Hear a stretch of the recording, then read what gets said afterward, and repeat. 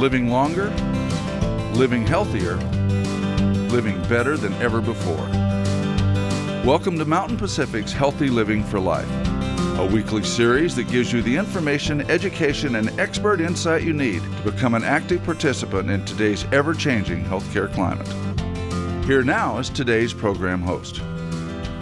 Numbering 52 million, people living with disabilities are the largest minority in America, accounting for 19% of the country's population. Chances are you are related to someone, have a friend, or know someone living with a disability. Perhaps you live with a disability yourself. Welcome to Healthy Living for Life, a show dedicated to helping you do just that. I'm Beth Brown, your host. Today we talk about advocating for the rights of people with disabilities. Stay tuned. We're joined now by Cassandra Rawson, who is here to talk about her experiences living with a disability. Thanks so much for being with us today. Thank you for having so me. So, can you start out by just telling us um, about your disability and how it happened? You weren't born with this, right? No, I wasn't born with my disability. I was 17 years old, a senior in high school, and I was out riding four wheelers with a couple of friends. I was not very experienced on the four wheeler, and I went up a hill I realized I was taking the wrong turn. I hit the gas instead of the brake and went off about a 12 foot drop off. When I landed, I don't know if the four wheeler landed on my stomach or if I just landed oddly, but I, when I looked down, I, my legs were at a really awkward angle and I couldn't feel my legs, and I knew immediately that I was paralyzed. So I went from St. Peter's Hospital. They life flighted me to Harborview in Seattle, okay. um, where they destabilized my spine. And then I went to University of Washington, which has an amazing program for outpatient therapy or inpatient therapy, where I learned to do all the things that I did before, like cooking, cleaning, driving, uh, interacting with people. But now I did it from a sitting position. So. Yeah. So let's talk about that a little bit because you have definitely not let yourself slow down at all, even though you're in a wheelchair. What are some of the challenges that you've maybe had to overcome being in a wheelchair?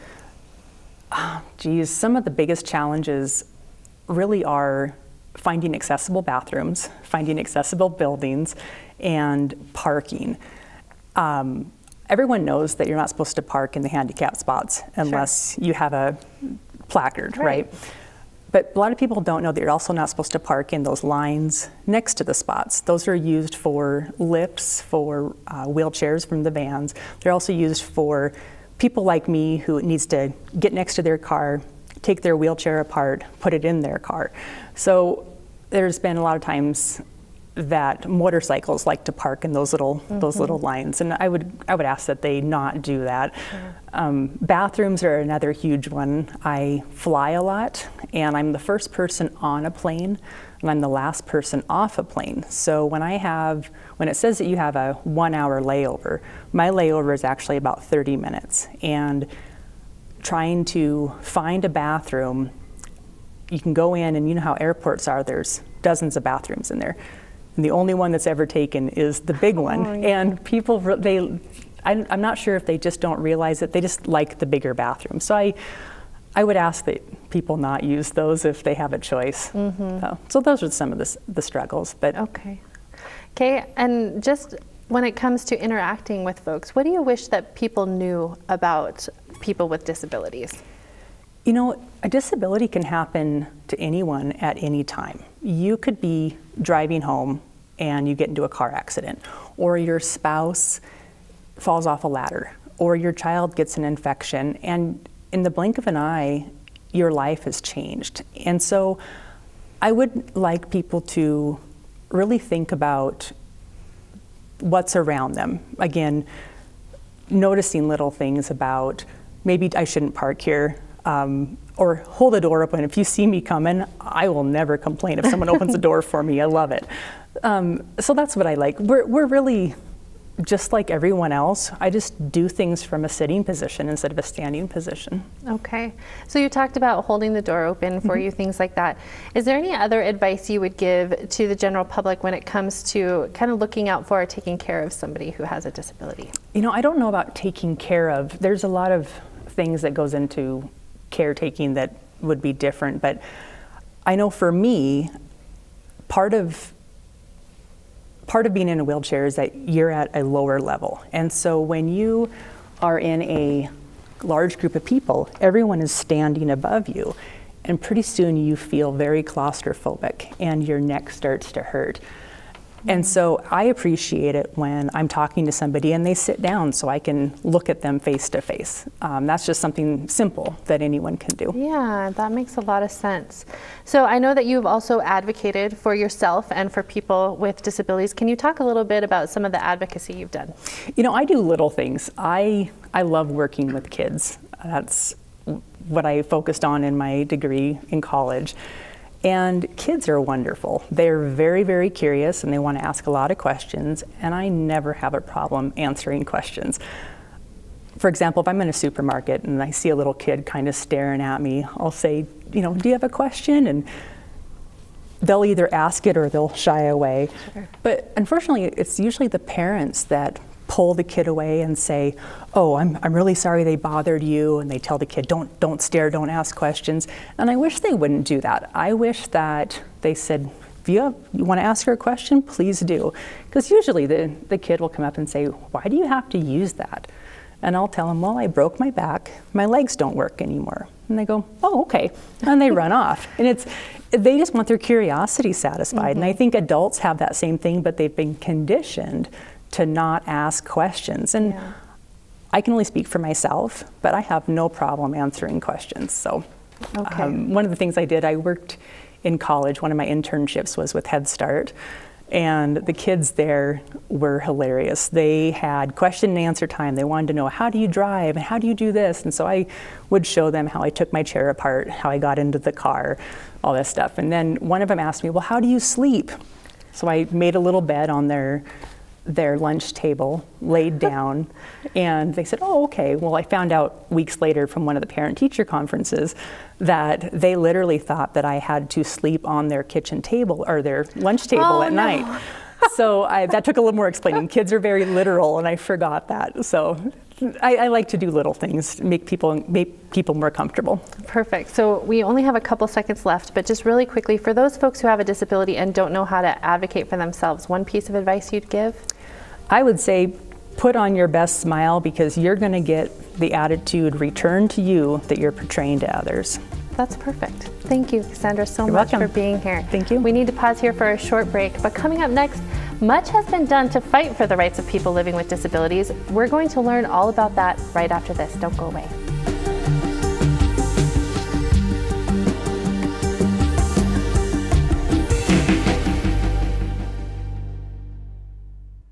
Welcome back. Joining us now is Roberta Zanker, an attorney with Disability Rights Montana. So thanks so much for being with us. Let's talk a little bit first about your organization and what Disability Rights Montana does. Disability Rights Montana has been around actually for a long time, about 40 years. And we are a protection advocacy agency, and there's actually a system of, we call them P&As, across the country that began in the 1970s as um, reaction to conditions that that people with disabilities experience. They were sort of ignored and left in um, different institutions, and uh, many uh, many people living in inhumane conditions. So mm there was a kind of a great hue and outcry to, to do something, and Congress came up with a system of protection and advocacy agencies. So um, Disability Rights Montana is Montana's P&A, and um, today we provide a whole array of services uh, for people who experience disabilities. Uh, information and referral, short, short-term assistance, sometimes litigation, help with housing, uh, employment, transportation, just a whole array of issues. Yeah, that's awesome. And so you talked about being an advocacy agency. So what do you actually try to teach people about disabilities and what it means to be disabled? Well, it's um, it's very important to understand that people with disabilities or who experience disabilities uh, are entitled to the same opportunities, um, benefits, and services, and are able to experience those as anyone else. And so, um, integration uh, into the community and into society and inclusion are sort of the most important things that we um, that, that we want to emphasize is to bring people in, to remove ac- um, barriers to access. And, and to get people involved, that people can hold jobs, they can um, be part of, of all of the goings on in communities and in society, and we want to get people involved. Great. And so you focus more on people's abilities rather than disabilities, right? Can you exactly. talk a little bit about um, how you keep that focus? You know, language is, is critical, it's central. And, and people uh, within the disability community emphasize something they call people first language. Mm-hmm. And that's a, just a great way to remember, remember. It's just people first. How do I emphasize the person rather than a disability that that person may or may not experience. So um, that's what we would say is people first language and focus on the person, not the disability. Um, people who experience disability, it's just a trait. It's just you know something that's part of them. It is not the person. It is mm-hmm. not who they are. So we might say something like you've heard me say already: a person who experiences a disability, rather than that person is disabled, mm-hmm. because that's not who they are. Perfect. So let's talk a little bit about um, etiquette. So we heard from Cassandra in the first segment. She talked about, you know, just coming down to her level since she's in a wheelchair. Do you have other tips like that for folks who are interacting with people with disabilities, how to act around them and proper etiquette? Well, I think the first thing is that people who experience disability uh, are generally looking for inclusion. They're not looking for sympathy. Mm-hmm. So they're not looking to be set apart or pampered or um, you know giving given special um, treatment. So if you want to help, that's fine. And sometimes uh, people who experience disabilities do need help. But we should ask. We should just say, hey, can I give you a hand? And uh, once we do that, then we don't, and if the person says yes, we don't assume what help is needed. We have to then go and ask, okay. you know, well, how can I help? What can I help you with? And, and then just kind of do that, not take over, not take control. You know, we don't look down at people. Uh, we treat adults as adults and children as children. Right. Um, you know, one of, you know, one of the stereotypes is that when we encounter somebody who experiences a disability, we speak up. Right. like it's a hearing problem, and, and it's not. Okay. So, you know, we don't have to do that. We just have to be ourselves Perfect. and allow that person to be themselves and try to engage with the person, not the disability. Perfect. Can you talk about some of the laws that protect folks who experience a disability? There are actually a whole host of laws, and when I do presentations in this area, I actually hand out a page and a half of disability laws. But some of the principal ones um, would be the uh, Air Carriers Access Act. Uh, we're certainly familiar generally with the Americans with Disabilities Act. There's also the Fair Housing Act, which deals with rental housing and that sort of thing. And in education, the Individuals uh, with Disabilities Education Act and the 501 um, education laws as well. Um, Rehabilitation Act. So all of those laws work together um, to provide for access and benefits and services for people who experience disabilities. And you mentioned a big one there, the Americans with Disabilities Act of 1990. Um, we're just about out of time, so this is a tough one, but can you just give us a couple things about what that act does for folks? The ADA levels the playing field. Uh, it provides for access and opportunities to benefits and services in um, public accommodations, government services, uh, employment, housing, uh, education, transportation. It's a very wide and broad, all encompassing law. We're certainly familiar with um, what we call the, um, the ADA guidelines, which deal with parking spaces and restrooms and curb cuts and all of those things. Okay, perfect. So we need to pause here for just a quick break. But coming up next, we'll talk more with Roberta from Disability Rights Montana about additional requirements in the ADA to benefit those people who experience disabilities. We'll be right back after this. Stay with us.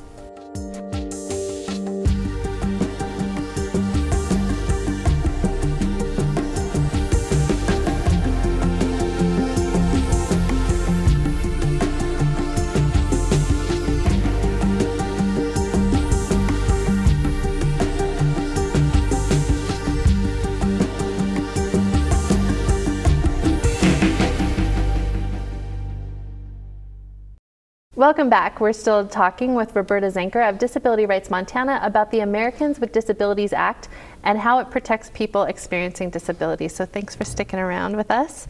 So the ADA, the uh, Americans with Disabilities Act, that went into effect in 1990. So yes. what about those buildings that were built before then? How do they get up to the requirements laid out by the ADA?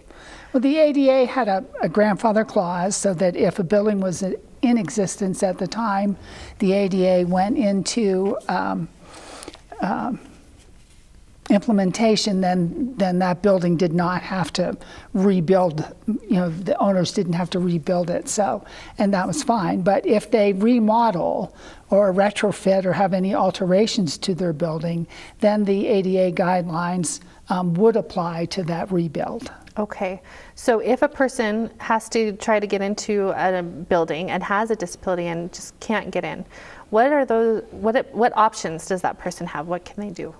Well, there there are two things we would encourage them to do. One is to call us uh, Disability Rights Montana or okay. visit our website and, and make a complaint to us um, so that we can go and survey um, that building and contact that uh, proprietor or owner and talk to them about their uh, accessibility and try to get them up to code and try to work with them to do that. Uh, or they can make their complaint formally to the Montana Human Rights Bureau. Okay. So um, the ADA applies to more than just buildings. So let's talk about some of the other, um, I guess, experiences that people might have being around town that the ADA also helps.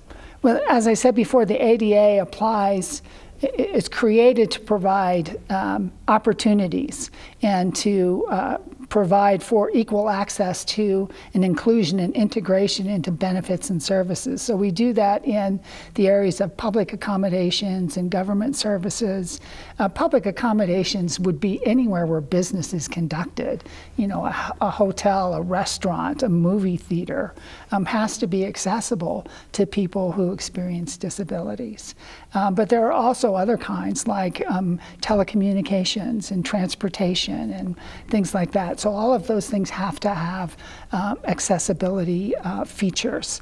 Um, their employment is another huge area covered by the ADA, and and you can't discriminate against a person uh, based on, upon their disability. Okay, we've talked a little bit about parking. If somebody has a disability, what does that person do so that he or she can park in one of those spots? Well, in Montana, uh, the Department of Motor Vehicles provides both decals and license plates for um, people who experience disabilities uh, to use um, those uh, designated um, parking spots. And you have to apply for them. Um, the requirements uh, include um, having a disability that's recognized on a list of disabilities and then having that disability certified by a medical professional. So once you do that, you can mail in, I think it's called a DMV 5 is the form. Okay. And you fill out the form and you can mail it in or fax it in or email it. And um, there's, of course, the registration fee that would be the same as uh, any licensing vehicle fee. Okay. And then the decal is free where you hang it in the mirror. And um, and then you should be good to go. Okay, perfect. Let's talk a little bit about public transportation. Um, are there certain requirements that public transportation has to meet in order to uh, be accessible to folks? Both public um, transportation vehicles like buses and private companies that provide transportation for the public are subject to the ADA. So they have to have um, sort of information signing requirements. Um, they have to have um, seats that are accessible. They have to have um, uh, ramps or lifts or things that are assistive technology, uh, and they have to allow for service animals on buses, for instance. Uh, operators have to provide time for people, additional time if it's necessary for them to board. Uh, operators have to be trained. Um, so those are the kind of requirements. Okay, perfect. What about polling places? You know, every American has a right to vote, but if a person has difficulty trying to get to a polling place, what are their options?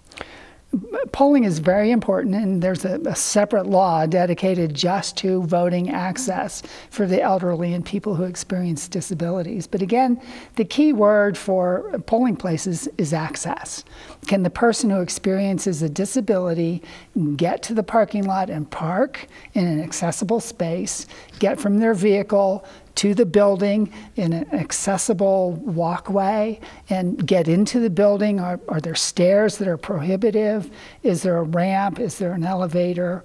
Um, those kinds of things would be required. Once they get into the building, is there a clear um, path to the booth, uh, the voting booth, and mm -hmm. those mm-hmm. kinds of things? So all of those would be required by the ADA. Okay, um, let's switch gears just a little bit and talk about seniors with disabilities. They can sometimes face uh, different barriers that maybe younger folks would. Can you talk a little bit about that and what issues you see with seniors who experience disabilities?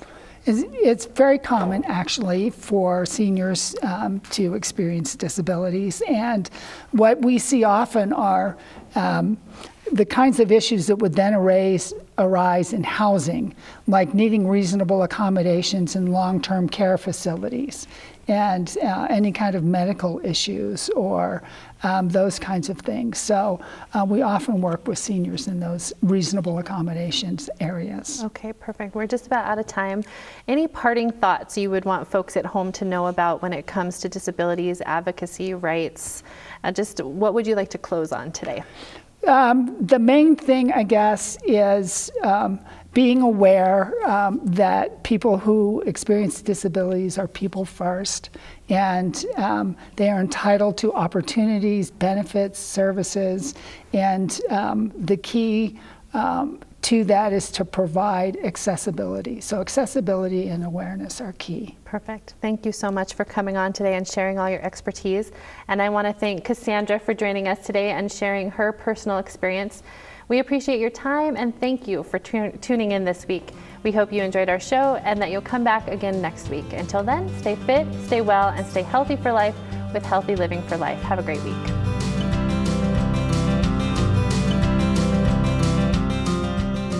Healthy Living for Life is brought to you by Mountain Pacific Quality Health.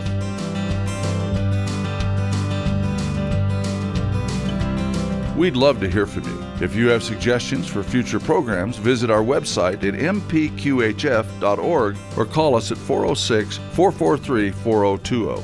You can also catch us on YouTube by visiting our website and clicking on the YouTube icon. Special thanks to Fire Tower Coffee House and Roasters. Production facilities provided by Video Express Productions.